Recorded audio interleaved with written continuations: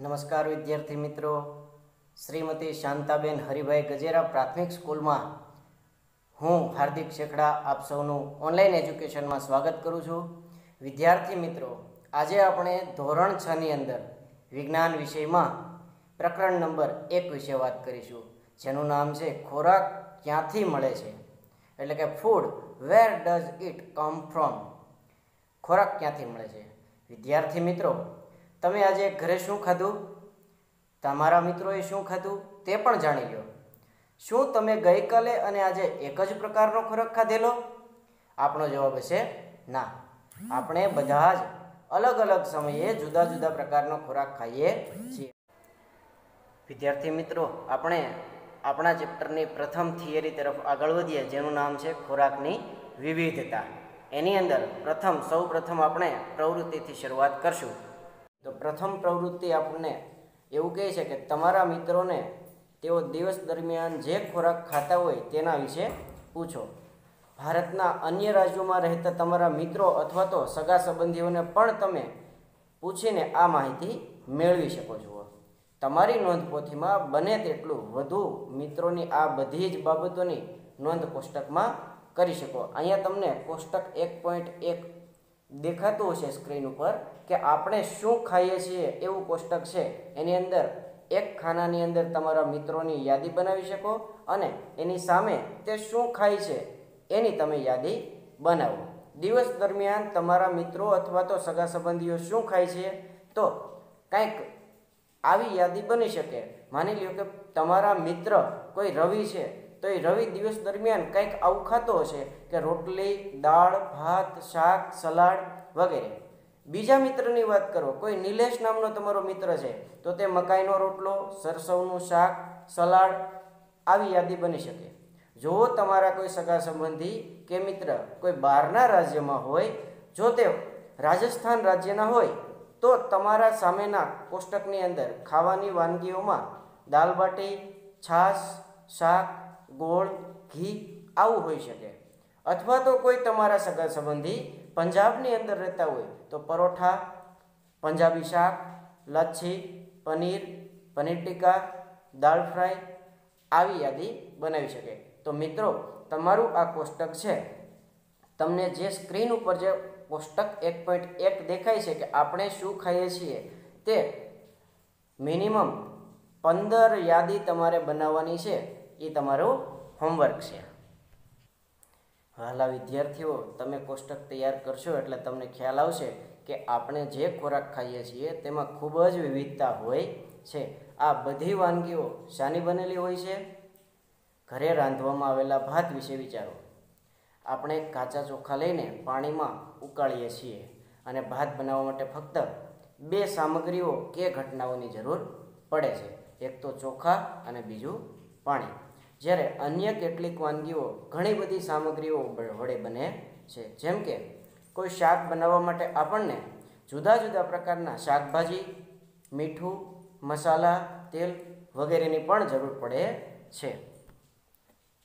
તો આપણે પ્રવૃત્તિ એક પરથી એવા તારણ કાઢી શકીએ કે દરેકના ખોરાકમાં વિવિધતા જોવા મળે છે. અને બીજું એમ કહી શકાય કે જુદા જુદા રાજ્યોના લોકોના ખોરાકમાં વિવિધતા જોવા મળે છે. વહાલા વિદ્યાર્થી મિત્રો, આપણે પ્રવૃત્તિ બે તરફ આગળ વધીએ. તો તમે જે પહેલું પ્રવૃત્તિ એકનું જે કોષ્ટક બનાવેલું છે, તેમાંથી કોષ્ટકમાં રહેલી યાદી કેટલીક વસ્તુઓમાંથી કેટલીક પસંદ કરીએ તથા તેને બનાવવા માટે કઈ સામગ્રીની જરૂર પડી તેની તમારા મિત્રો અથવા ઘરના વડીલો સાથે ચર્ચા કરો. અને તે યાદીમાં તમને એક નીચે પ્રવૃત્તિ બેની અંદર કોષ્ટક એક પોઈન્ટ બે આપેલું છે કે કેટલાક ઉદાહરણો એ કોષ્ટકની અંદર આપેલા છે અને એની અંદર વધારે ઉદાહરણો તમે એડ કરો. તો પ્રવૃત્તિ એ બે છે, એમાં કોષ્ટક એક પોઈન્ટ બે વાનગીઓ અને તેની સામગ્રીઓના કેટલાક ઉદાહરણો આપેલા છે. જેમ કે રોટલી એટલે કે ચપાતી બનાવવા માટે કઈ સામગ્રીની જરૂર પડે? ઘઉંનો લોટ અને પાણીની.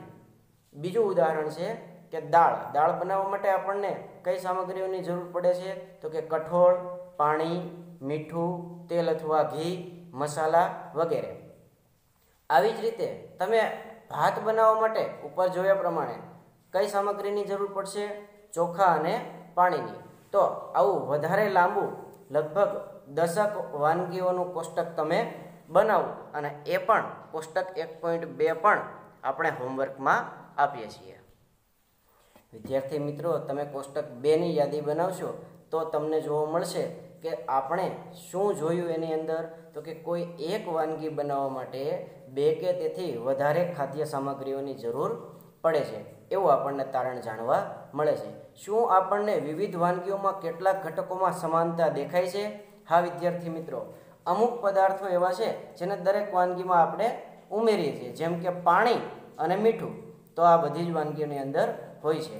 તો આ વાનગીઓ બનાવતા જાઓ એડ કરતા જાઓ કોષ્ટકમાં અને આપણા વર્ગમાં આપણે ચર્ચા કરીશું. અથવા તો હવે અત્યારે તમે લોકડાઉનના સમયમાં ઘરે જવો તો તમારા સગા સંબંધીઓ, વાલીઓ સાથે અને મિત્ર મંડળ સાથે પણ ચર્ચા કરી અને તમે હોમવર્ક કરી શકો છો. તો વાલા વિદ્યાર્થી મિત્રો, આપણે એક પોઈન્ટ બે થિયરીની અંદર એટલે કે ખોરાકની વિવિધતા વિશે માહિતી મેળવીએ.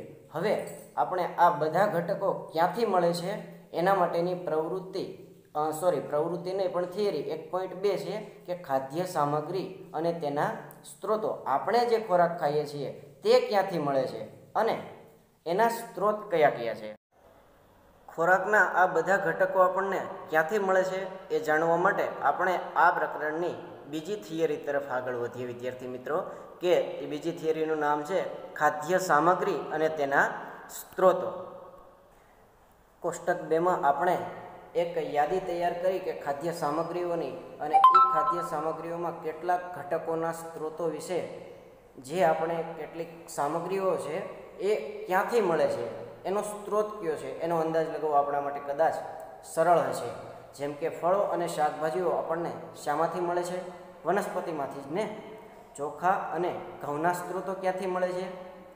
ઓબ્વિયસલી તમે ડાંગર અને ઘઉંના ખેતરમાં પાકની હરોળો જોઈ જ હશે, જે આપણને અનાજ આપે છે. અને અને કેટલાક ખાદ્ય પદાર્થો જેવા કે દૂધ, ઈંડા, માંસ, ઝીંગા, માછલી વગેરે પ્રાણીઓમાંથી આપણને મળે છે.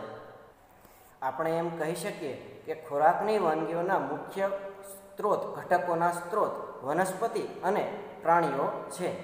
ચોખા, ઘઉં, ફળો અને શાકભાજીના સ્ત્રોત વનસ્પતિ છે, જ્યારે દૂધ, ઈંડા, માંસ, મરઘી, ઝીંગા, માછલી વગેરેના સ્ત્રોત પ્રાણીઓ છે. તો ચાલો અગાઉ નોંધેલા ખાદ્ય સામગ્રીને લઈ તેના ઘટકો અને સ્ત્રોતો એટલે કે તે શામાંથી મળી આવે છે તે શોધી કાઢીએ.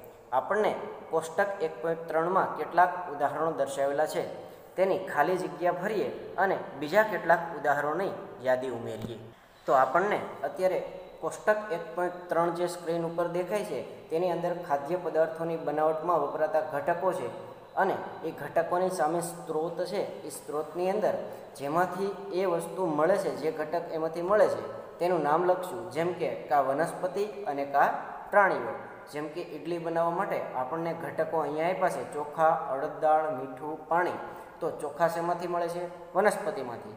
અડદ દાળ વનસ્પતિમાંથી. મીઠું, પાણી તમારી રીતે તમે એ ખાલી જગ્યા ભરજો. અને કોષ્ટક એક પોઈન્ટ ત્રણ તમારું હોમવર્કમાં મિત્રો, તમે જે કોષ્ટક એક પોઈન્ટ ત્રણ તૈયાર કરો છો, તે આપણી પ્રવૃત્તિ નંબર ત્રણ છે. તો આ પ્રવૃત્તિ ત્રણ પરથી આપણે શા તારણ પર આવી શકીએ? વનસ્પતિ એ અનાજ, ધાન્યો, શાકભાજી અને ફળો જેવા ખાદ્ય પદાર્થોની સામગ્રીનો સ્ત્રોત છે. જ્યારે પ્રાણીઓ આપણને દૂધ, માંસની પેદાશ તથા ઈંડા આપે છે. ગાય, બકરી અને ભેંસ એ કેટલાક સામાન્ય પ્રાણીઓ છે કે જે આપણને દૂધ આપે છે. દૂધ તથા દૂધના ઉત્પાદનો જેવા કે માખણ, મલાઈ, ચીઝ અને દહીં દુનિયામાં બધે જ વપરાય છે. શું તમે દૂધ આપતા બીજા કેટલાક પ્રાણીઓના નામ આપી શકો? તો યાદી બનાવો કે આપણને દૂધ બીજા કેટલાક પ્રાણીઓ આપે છે અને કયા કયા, એની પણ યાદી તમે બનાવો વિદ્યાર્થી મિત્રો. તો વિદ્યાર્થી મિત્રો, આજે આપણે બે થિયરી ભણ્યા. પ્રથમ થિયરી હતી કે ખોરાકની વિવિધતા અને બીજી થિયરી આપણે ભણ્યા કે ખાદ્ય સામગ્રી અને તેના સ્ત્રોતો. તો આજે આપણે અહીંયા સુધી રાખીએ છીએ. આગળ વધારે આવતા લેક્ચરમાં ભણશું. ત્યાં સુધી અસ્તુ. જય હિન્દ, જય ભારત.